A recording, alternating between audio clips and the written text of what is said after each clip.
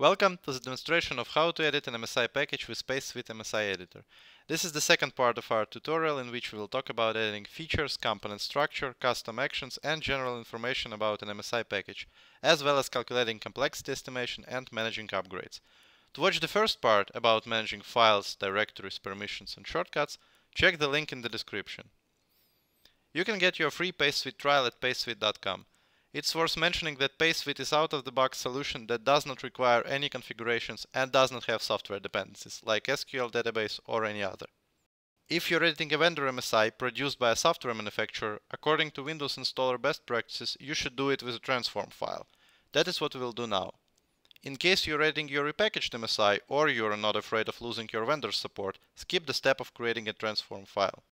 To edit MSI package, select Edit with MSI Editor from the context menu. Then go to the menu and select New MST. Choose destination location and file name for the transform and click Save. To manage features component structure of your package, open the respective tab. In the left pane, you can see a tree that shows the structure of features and components as well as resources that are linked to those components. By clicking on a feature, you're able to review or modify its details in the right pane. For example, you can choose installation behavior from the drop-down list. That means you don't need to specify the installation level of the feature manually. It will be automatically set in accordance to a value of the install level property. If you click on a component, its details will be displayed in the right pane. Here you can edit identifier, GUID, directory, other details, and select the necessary attributes. Furthermore, you can review all resources which belong to components.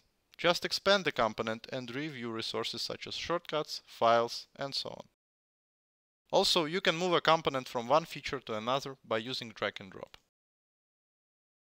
Using the context menu, you can create new root and new child features, new components, or import files or registry directly to the selected feature or component. If you need to review custom actions or import scripts to your package, go to the Custom Actions tab. You can select a table from which the list of actions will be displayed. And you can filter this list by source type, condition, or you can hide all standard actions. To reset the applied filters, click this button. In the list, custom actions are highlighted with an icon displaying its source type. Standard actions do not have any icons. In the right pane, you can review and edit actions details such as name, source type, source, target, condition, and select attributes. To change the sequence of an action, use drag and drop to move it in the list. Alternatively, enter the sequence number manually in this field. Also, here you can add standard action by selecting the necessary action from the list. Note that actions which are already included in this package are not displayed in this list.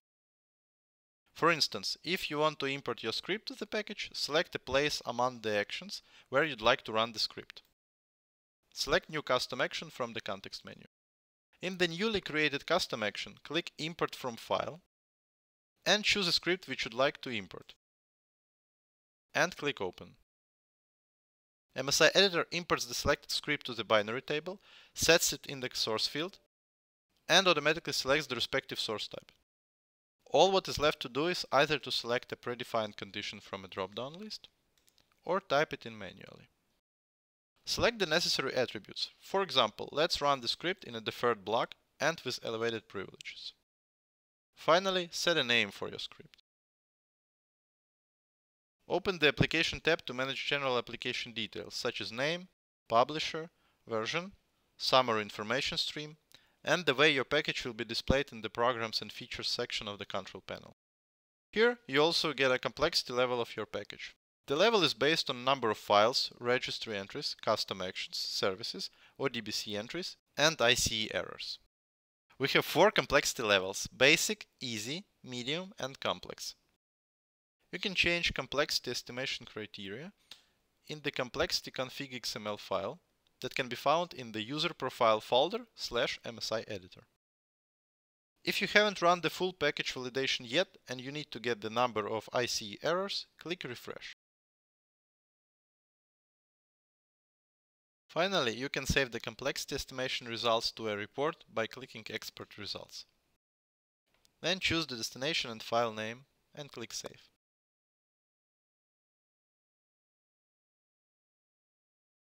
In the generated report, you will find your package identification information, number of calculated resources, package size, and complexity level.